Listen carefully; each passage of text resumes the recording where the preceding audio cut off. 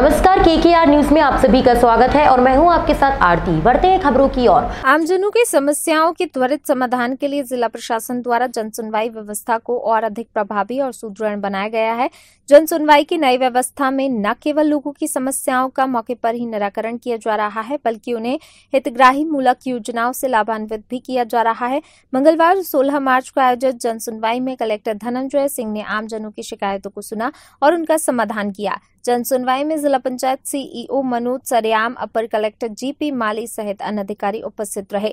जिला स्तरीय जन सुनवाई में सतासी आवेदन प्राप्त हुए। जन सुनवाई में कलेक्टर के समक्ष सामाजिक कार्यकर्ता सीमा कैतवास ने सौरभ थापक नामक युवक द्वारा स्वयं की बल्दियत बदलकर लिखकर पुलिस सहित तहसील कार्यालय एवं कार्यपालिका दंडाधिकारी को गुमराह कर धारा एक सौ इक्यावन में जमानत कराए जाने के मामले की शिकायत कर जमानत निरस्त किए जाने की मांग रखी। इस बात से अवगत कराया कि आरटीआई के तहत निकाली गई जानकारी से अवगत हुए कि सिटी कोतवाली होशंगाबाद में सौरभ थापक को शांति भंग करने के आरोप में 28 नौ 2020 को धारा एक सौ इक्यावन, एक सौ सात, सोलह दंड प्रक्रिया संहिता के तहत गिरफ़्तार कर न्यायिक कार्यपालिका दंडाधिकारी होशंगाबाद के समक्ष प्रस्तुत किया।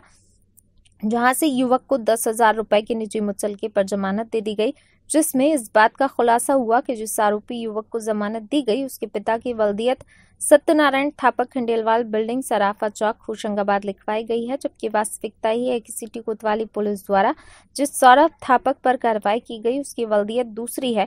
पुलिस और तहसीलदार की जाँच में खंडेलवाल बिल्डिंग में निवासरत सौरभ थापक नामक युवक की अलग अलग बल्दियत का मामला प्रकाश में आया है, जिससे कलेक्टर ने गंभीरता से लेते हुए जाँच के आदेश दिए हैं। इस दौरान सामाजिक कार्यकर्ता सीमा कैथवास ने जनहित और शासन हित में अलग अलग बल्दियत प्रदर्शित होने पर दी गई जमानत को निरस्त करने की भी मांग रखी है।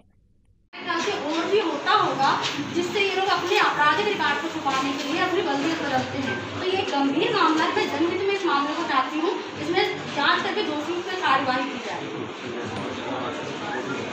जी सर। हमारे चैनल में बने रहने के लिए हमारे चैनल को लाइक, शेयर, सब्सक्राइब करना ना भूलें।